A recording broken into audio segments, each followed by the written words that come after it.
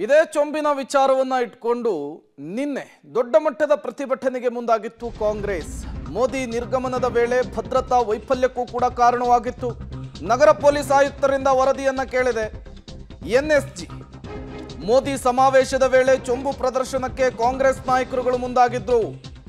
ಕಾನ್ವೆಸ್ ಆಗುವಂತಹ ದಾರಿಗೆ ಅಡ್ಡಲಾಗಿ ಹೋಗೋದಕ್ಕೆ ನಲ್ಪಾಡ್ ಯೂತ್ ಕಾಂಗ್ರೆಸ್ನ ಅಧ್ಯಕ್ಷರು ಮುಂದಾಗಿದ್ದರು ಮೊಹಮ್ಮದ್ ನಲ್ಪಾಡ್ ಅವರನ್ನು ಬಂಧಿಸಿ ರಿಲೀಸ್ ಮಾಡಿದ್ರು ಪೊಲೀಸರು.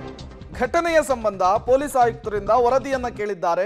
N S G N S G ಇದು ಪ್ರಧಾನಿ ನರೇಂದ್ರ ಮೋದಿ ಅವರಿಗೆ ಭದ್ರತೆಯನ್ನು ಕೊಡುವಂತಹ ಒಂದು ಸಂಸ್ಥೆ. ಇವರು ಈಗ ವರದಿಯನ್ನು ಕೇಳಿದ್ದಾರೆ. ಯಾಕಾಗಿ ಇವರು ಈ ರೀತಿಯ ಹೈಡ್ರಾಮಾ ಮಾಡಿದ್ರು? ಯಾರವರು? ಅವರ ಇಂಟೆನ್ಷನ್ ಏನಾಗಿತ್ತು?